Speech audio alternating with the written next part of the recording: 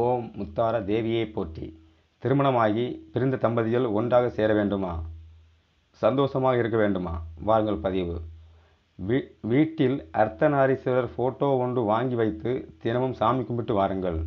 திருவிழாவில் தேர் இழுக்கும் பொழுது ஆரம்பம் முதல் தேர் நிலையத்திற்கு தேர் போய் சேரும் வரை வடம் பிடித்து சாமி கும்பிட்டு வாருங்கள். அந்த தேரிலிருந்து ஒரு மாலை அல்லது பூ கொண்டு வந்து வீட்டில் பூஜை அறையில் வைத்து வணங்கி வாருங்கள். பிரிந்து போன உங்கள் தம்பதிகள் ஒன்றாக சேர்வார்கள்.